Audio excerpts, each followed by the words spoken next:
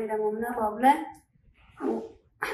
anu waxaana mumne rooble soomaaliyeed baan ahay ree etoobiyaan ahay. Waana bukay naqaska igu dhegayay. Maxaa la idhahay sidaasay oofaha sidaas ku kegeynayay maanta alxamdulilah dhakhtarkan baa daweeyey. Ilaahay khara siiyo. Wallaahi waa dhakhtaraan ku kalsoonaadaa si fiican baan ugu kalsoonaaday si fiican buu daweeyey. Maantana waan caafimaad qabaa alxamdulillah rabbilcaalamiin eh, magacaygu cabdiraxmaan aadan waxaan ka waxnahay soomaali baan nahay soomaali baan nahay hooyadii xanuunsan baan hindiya keenay. Hooyadii xanuunkeygu wuxuu ahaa adoo ma seexan jirin waxba ma cuni jirin. Marka waxaa laga haya xididka xagga xididka dhiigga qaadaya ayaa laga hayay. Markaas adoo welwel badan kadib daktarka manibal hospital baa ayaa operationka lagu sameeyey lagu qalay. Dan iminka kadibna way alxamdulilah way ku caafimaaday qalinkana ku guuleysteen hadda xaaladeedana aad bay u fiican tahay. Waaka alxamdulilah okay waxaa qaliinkeygu wuxuu ahaa xididada marka xididada waxaa u qaabilsanaa doctor tabish isaga iyo tiimkiisa alxamdulilah aad bay u guuleysteen. Hawl hawl fiican bay qabteen. Hadda xaaladeedu way fiican tahay. Wayna ka warhayaan hadda toddobaad baa laga joogaa. Iminkana maantana waan keennay way baadheen. Si fiican bay xaaladeeda uga warhayaan bay u maasan yihiin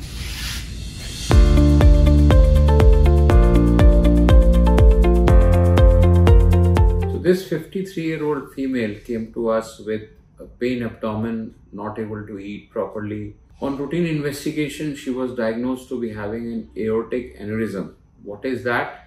It's the main blood vessel of the body, which actually arises from the heart and then brings the blood down to the kidneys, to the intestine, and goes down to both the lower limb. So, because of various factors, this blood vessel may become weak, enlarging it, and then it is prone to rupture. So, if it ruptures, it is a life threatening situation. So, she was diagnosed with this, it was having some pressure symptoms.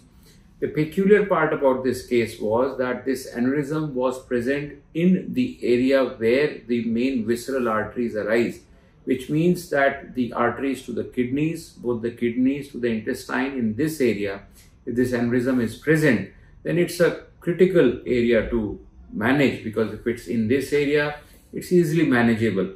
So, what happens is that if it is below the renal arteries, then we can place in a stent below this and this is a straightforward procedure. But when it is present in the areas of the all the visceral arteries, so then we have to place a tube through the groin.